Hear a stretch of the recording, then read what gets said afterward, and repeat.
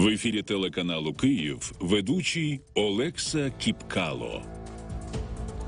Ми вітання п'ята вечора в Україні в ефірі Київ Ньюзрум. І далі в випуску. Дружина Медведчука йде в політику, вшанування героїв Небесної Сотні та біткоін бере нові висоти. Реакція Росії через санкції щодо Медведчука не забарилась. Прес-секретар президента Росії Дмитро Пєсков заявив, введення Україною санкцій проти кума президента Росії Віктора Медведчука це тривожна інформація. У Кремлі занепокоєні, мовляв, Україна може намагатися вирішити питання Донбасу силовими методами. І хоча зв'язок війни на Донбасі е, між війною на Донбасі Росією та кумом Путіна Медведчуком це секрет Полішинеля, але зараз офіційний Кремль вкотре вказує на зв'язок, який сам же і відкидає. Нагадаю, напередодні Рада національної безпеки і оборони України включила політика Віктора Медведчука та його дружину Оксану Марченко у санкційний список за статтю е, про фінансування тероризму. Загалом е, санкції наклали на 19 юридичних та 8 фізичних осіб. Сьогодні Марченко заявила, що йде в політику, бо її сім'я це майбутнє України. Теперь вместо одного Медведчука вы получили еще и Марченко, которая никогда не стремилась в политику, но вы не оставили мне выбора. С сегодняшнего дня я вступаю в партию «Оппозиционная платформа за жизнь», Сьогодні в Україні вшановують героїв Небесної Сотні. У столиці вранці відслужили панахиду за загиблими на майдані. Церемонія вшанування пам'яті пройшла поблизу місць наймасовіших розстрілів на алеї Героїв Небесної Сотні. Сім років тому люди різного віку, різних професій, які ніколи б не зустрілися в житті, якби не майдан, кидали все і йшли тримати стіну. Вони не думали про те, що залишаться там назавжди. А їхні дружини і мами в холодному поту об'їжджатимуть усі морги. А внаслідок злочинного режиму Януковича загинули 104 майданівця і 17 спецпризначенців. До стели з портретами тих, хто сім років тому поліг на мерзлій бруківці інститутської на Грушевського, прийшли рідні, близькі побратими, щоб покласти квіти. Мій чоловік загинув під час революції гідності. Його звали В'ячеслав Веремій, він журналіст. Його вбили в ніч з 17 на 19 лютого на розі Великої Житомирської та Володимирської. Тітушки вбили. Вже сім років суди тривають. Досі ще тільки один покараний. Я був лікарем Майдану. У мене загинуло на руках троє героїв. Назар Войтович, наймолодший, герой Небесної Сотні. Андрій Мовчан і Бондарчук Сергій. Це був останній роковий і переможний бій Майдану. Власне, тоді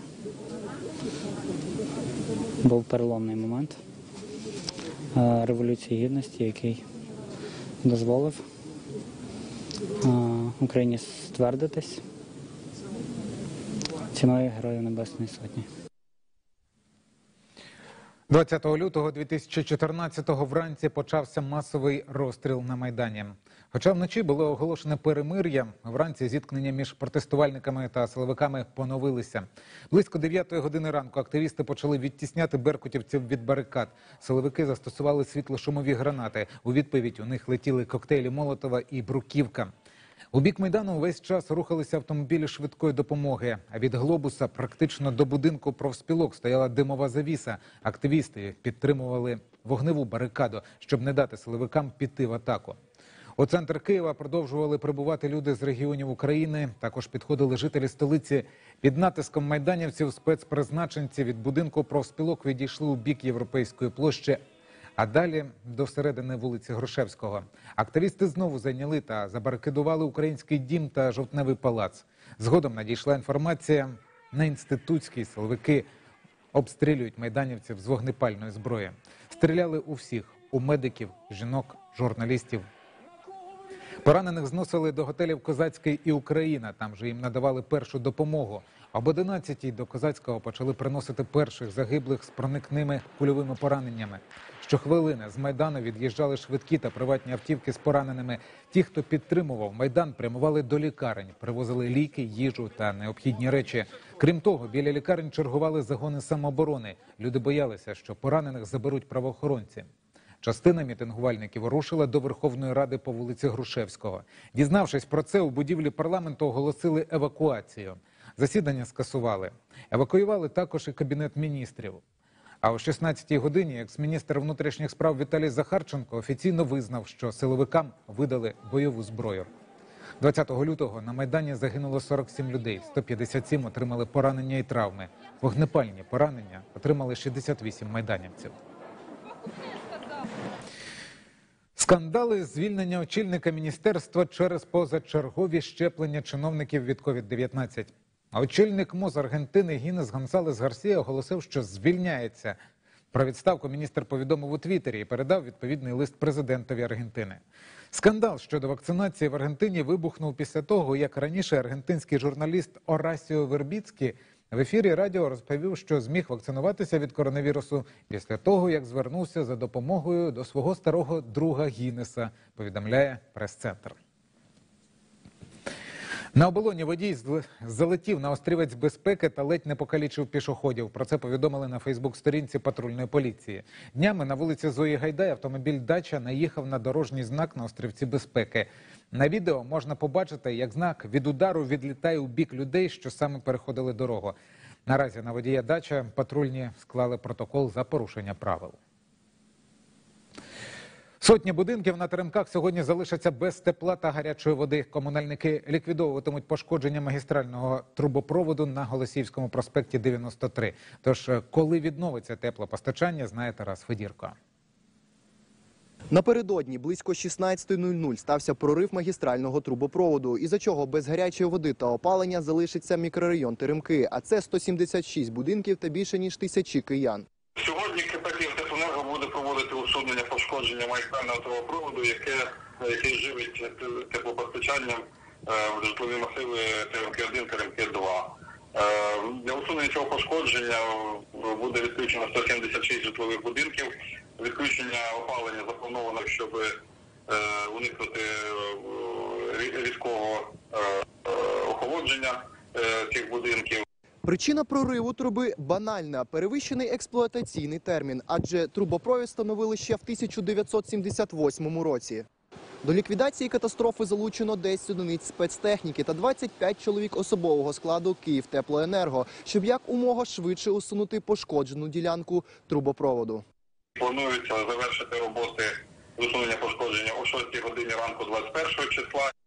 Тарас Федірко, Андрій Гегеля, телеканал «Київ».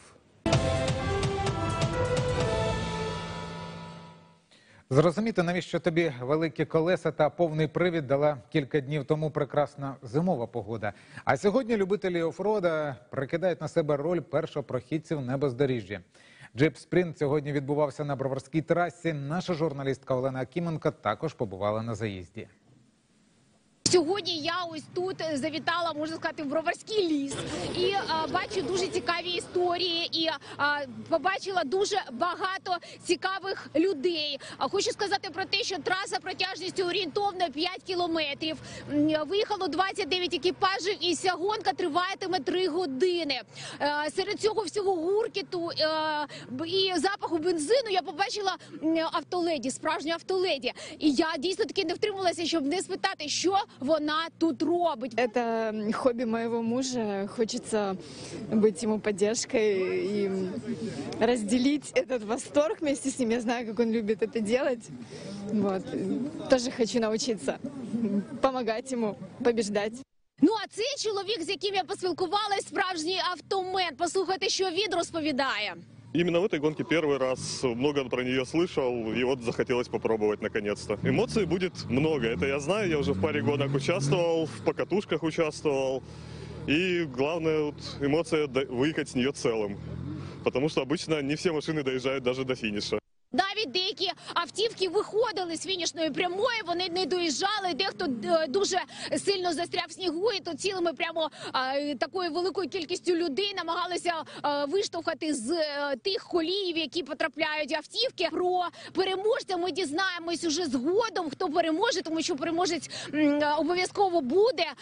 І дійсно хочу сказати, що побажати всім, хто приймає участь ось тут і знаходиться ось тут, такого знаєте класного настрою. І е, хочеться побажати всім нашим глядачам, хто дивиться нас, е, навіть якщо у вас немає власного авто, все рівно драйв сьогодні. І ось на ці вихідні виходьте на вулицю, просто гуляйте, насолоджуйтесь цим снігом, який нас ось так порадував. Вінілові платівки знову в тренді. Вже чотири роки поспіль у столиці набирає популярності всеукраїнський зліт колекціонерів та цінителів музики на Kyiv Vinyl Music. Е, Оригінальні екземпляри та зовсім свіжі релізи. Катерина Селецька побувала серед поціновувачів. Від золотої класики світової музики до надсучасних виконавців на Київ Vinyl Music Fair можна знайти платівку на будь-який смак. Прихожу и нахожу то, что мне интересно, то, что может быть интересно, то, что мне советуют новое что-то по музыке послушать. Как бы, это очень интересно и находить что-то новое для себя, и собирать коллекцию тем, что ты знаешь, что-то уже, уже даже успел забыть и заново это вспоминать, заново открывать для себя. А чим зумовлена ця популярність вінілу? Мабуть, з-за того, що на ринку стало більше цифрових носіїв, і вони якби стали легко доступними, тому не такими цінними. А тут можна в руках потримати. Все-таки воно коштує якихось грошей, то ставишся до вибору вінілу якось більш серйозніше. Перша вінілова платівка була випущена ще на початку 50-х років, в часи ексклюзивів минуле з появою касет, а потім і CD-дисків. Проте зараз мода стрімко повертається. Це аналоговий звук. Він відрізняється від цифрового формату, таких як MP3, MP4 чи навіть компакт-диски. І особливо це стосується джазу, фольку, соул. Ця музика вона повинна звучати тільки на аналогових носіях. Вініл це справжнє мистецтво. Дивіться, тут обкладинка, це окреме мистецтво, сама музика. То, що всередині це теж мистецтво. Тому вона об'єднує і аудіо, і візуальний такий контент. Вітчизняні, сучасні, унікальні ще лімітовані релізи. Сьогодні платівка стала окремою субкультурою і може стати не лише гідним доповненням в колекції аудіофілів, а й впишеться до будь-якого вечора. Катерина Селецька, Володимир Барков, телеканал Київ. От позашляхові видовища під Києвом побачили, хорошу музику послухали. Є люди, які поєднують це і видовище, і музику. Це поціновувачі, ну звісно, телеканалу Києва, а також кіно. Так, от Микола Полосін, наш культурний оглядач, підготував, що ж можна такого цікавого у вихідні дні подивитися. Ну, ми дивитися і ми. Письменник, сценарист та режисер Олег Сенцов планує зняти свій перший англомовний фільм. За словами кінопрофі, це буде сімейна історія, що відбувається в Америці, та є зовсім протилежною за жанром вже наявним картинам. Фільмування планується у Штатах чи Канаді і одразу англійською мовою. А до зйомок залучать американських зірок. Нагадаю, у листопаді минулого року на великі екрани вийшла іронічна антиутопія номери, що є режисерським дуетом Олега Сенцова та Ахтема Сейтаблаєва. А зараз кінорежисер завершує зйомки кримінальної драми Носоріг.